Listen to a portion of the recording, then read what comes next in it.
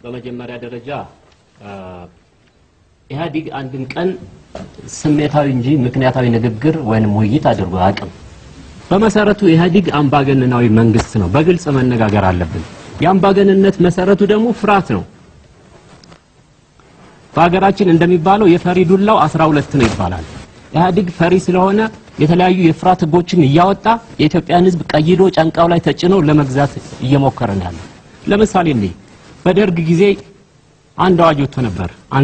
አዋጅ 767 የሚባለው ያነበበ ያስነበበ አሽሞዳ የተናገረ 15 ዓመት እስራት ይፈረድበታል ይላል።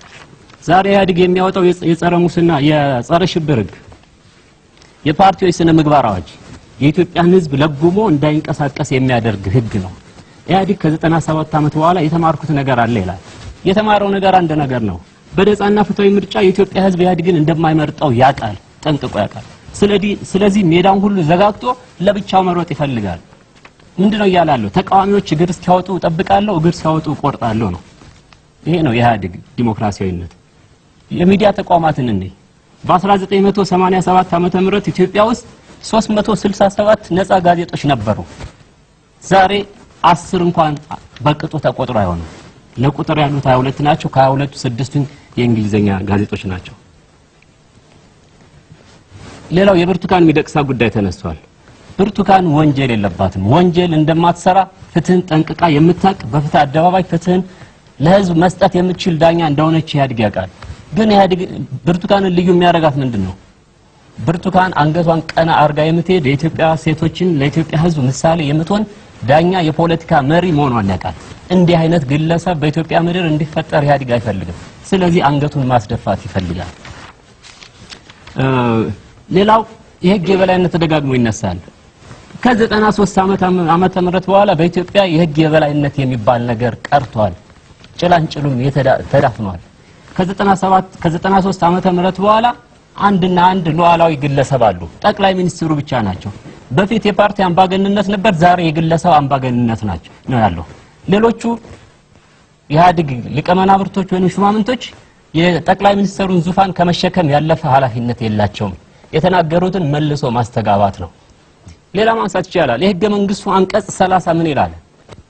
ማንም ሰው የሌላውን ህግ የሌላውን ህዝብ መብት አፌክት እስካላረገ ወይም እስካልጎዳ ድረስ በነፃ የመሰብሰብ የመሰለፍ መብት አለው ይላል። የት አለ ያ መብት የሚከበረው? በተለይ ከ97 ዓመተ ምህረት ምርጫ በኋላ ንገሩና። አዲስ አበባ ውስጥ ስንት ጊዜ ነው ሰልፍ ጠይቀን የተከለከለ? ስንት ጊዜ ነው ሰልፍ እንዳ የኢትዮጵያ ህግ እንዳውም ህገ መንግስቱ ማፌዝ ሆኗል። ኢህአዲግ ከራሱ ፕሮግራም የቀዳውን የቀዳውን ህገ መንግስት በመጣስ የመጀመሪያውም የመጨረሻውም ኢህአዲግ ነው። ሌላው አንድ ነገር ልጥቀስ። በዚህ ሀገር የህግ የበላይነት እንደሌለ ለምሳሌ የኢትዮጵያ ገቢዎችና ጉምሩክ ባለስልጣን ሰራተኞች አስተዳደር የሚኒስትሮች ምክር ቤት ደንብ ተብሎ ይወጣል። በዚህ ደንብ መሰረት በዚህ ደንብ መሰረት አነበዋለሁ። በዚህ ደንብ በሌላ ሁኔታ የተደነገገው ቢኖርም ዋና ዳይሬክተሩ በሙስና የተጠረጠረን እምነት ያጣበትን ማንኛውንም መደበኛውን የዲስፕሊን እርምጃ አፈጻጸም ስራ ሳይከተል ከስራ ማሰናበት ይችላል ይላል። እንዲሁም በንዑስ አንቀጽ ሁለት በዚህ አንቀጽ ንዑስ አንቀጽ አንድ መሰረት ከስራ የተሰናበተ ሰራተኛ በየትኛውም የፍርድ አካል ውሳኔ ወደ ስራ ለመመለስ መብት የለውም ይላል። ይህ ምን ማለት ነው? ዳይሬክተሩ በፈለገ ጊዜ ሰውን ማባረር ይችላል። የአይኑ ቀለም ባላማረው ጊዜ ሊያሰናበተው ይችላል። የሚገርመው ነገር ግን ይሄ ሰው ደግሞ በምንም አይነት መልኩ ወደ ስራ ሊመለስ አይችልም። የህገ መንግስቱ አንቀጽ 25 ምንድን ነው የሚለው? የሰዎች በህግ ፊት እኩልነት የታለ? እዚህ ጋር የታለ? ንገሩና። አንድ ሰው የመሰለውን የሚወስንበት ነው። ይሄ እናንተ ያወጣችሁት ህግ ነው። የእናንተ ሚኒስትሮች ተሰብስባችሁ የሰራችሁት ነው። አረጋዊ ገብረ ዮሐንስ ምንድን ነው የሆነው? አሁን በዚህ ሰሞን በምርጫ አገር አለኝ ፍትህ አለ ሰላም አለ ብሎ በሚኖርበት ነው በእናንተ ሰዎች ተወጋግቶ የተገደለው። ስለ ነጻ ዲሞክራሲያዊ ምርጫ ታወራላችሁ። ንገሩን አይታለ ይኸው መርሳ ላይ ከሁለት ቀን በፊት 14 አባሎቻችን በፌዴራል ፖሊስ ሲደበደቡ አድረው አልተለቀቁም። ፌዴራል ፖሊስ የማን ነው? የእናንተ ነው። እንወዳደር፣ ምርጫው ፍትሃዊ ነው። በሚዲያ ታደነቁሩናላችሁ። የት አላችሁ ታዲያ? ሌላ እንውሰድ። ለምሳሌ የጸረ ሙስና ኮሚሽን የራሱ ፖሊስ አለው፣ የራሱ መርማሪ አለው፣ ራሱ ከሳሽ ነው። ይሄ ብቻ አይደለም። የጉምሩክ ባለስልጣን የራሱ ፖሊስ አለው፣ የራሱ መርማሪ አለው፣ ራሱ ከሳሽ ነው። ምን አይነት ዲሞክራሲ ነው? ምን አይነት የህግ የበላይነት ነው? ሌላው ተደጋግሞ የተነሳ ነገር አለ። ተደጋግሞ የተነሳው ነገር የብሔር ብሔረሰቦች መብት ተከብሯል ትሉናላችሁ።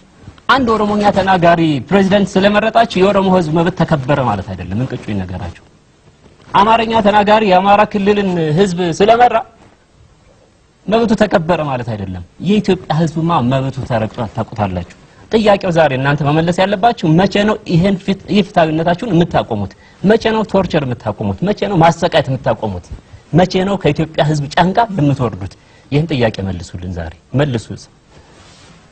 እሺ በቀሪ